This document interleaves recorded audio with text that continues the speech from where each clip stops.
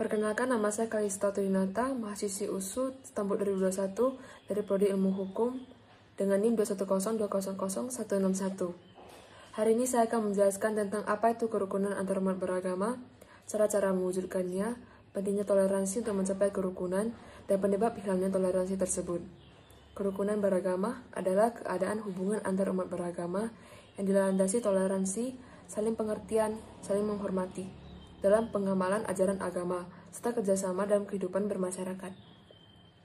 Tentunya dalam mewujudkan kerukunan ini, ada cara-cara yang harus dilakukan. Contohnya seperti saling menghormati antara umat beragama, tidak mengganggu umat lain sedang beribadah, tidak melecehkan atau menjelek-jelekan cara beribadah agama lain. Selanjutnya adalah pentingnya toleransi dalam umat beragama. Berbicara dengan toleransi, tentunya tidak lepas dari open-minded, bahwa perbedaan tidak lantas menjadikan kita kaku atau mengkotak-kotakkan manusia berdasarkan suku, ras, budaya, dan agama. Apalagi membenci atau mengucilkan orang-orang yang tidak sepaham agamanya dengan kita. Terkadang sikap intoleransi dapat muncul di masyarakat karena kurangnya pemahaman tentang keragaman dalam masyarakat Indonesia. Dengan adanya sikap intoleran ini pun dapat memicu dampak negatif di antaranya adanya perpecahan bangsa yang terjadi karena konflik sosial dalam kehidupan bermasyarakat.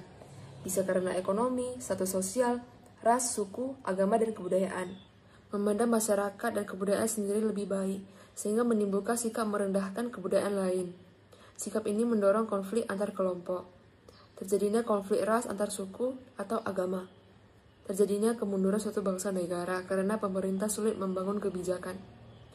Kurangnya partisipasi masyarakat dalam pembangunan, menghambat usaha pembangunan dan pemerataan prasarana dan sarana. Untuk menghindari sikap intoleran, kita lebih baik tidak memaksakan kehendak diri sendiri kepada orang lain.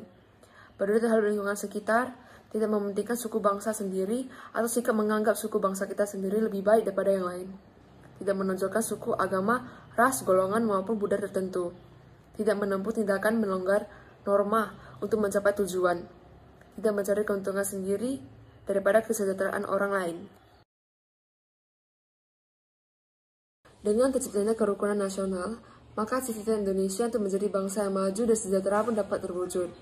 Oleh karena itu, kerukunan antar umat beragama harus dibangun dan dijaga.